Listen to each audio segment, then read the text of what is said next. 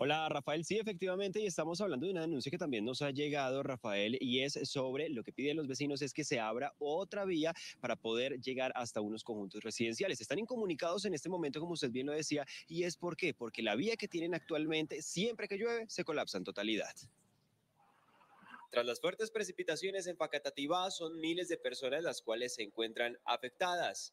El panorama de las fuertes lluvias tienen casi que incomunicados a tres conjuntos residenciales en el municipio. Pero hay que recordar que son tres conjuntos de este municipio que la están pasando terrible. Ya hay personas accidentadas, ya hay personas que se han caído, ya hay personas que están en riesgo su propia vida porque no entró una ambulancia.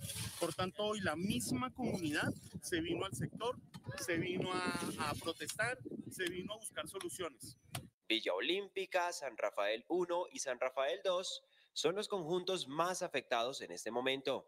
Y fue la misma Secretaría de Gobierno, hay pruebas y sustentos del mismo, que autorizó, autorizó a la comunidad pudiera retirar la malla y permitir el acceso vehicular provisional, mientras ellos, por supuesto, tienen la dignidad de terminar y prolongar la carrera quinta. Los vecinos piden que el municipio intervenga la vía de manera inmediata, ya que ni las ambulancias pueden ingresar al sector.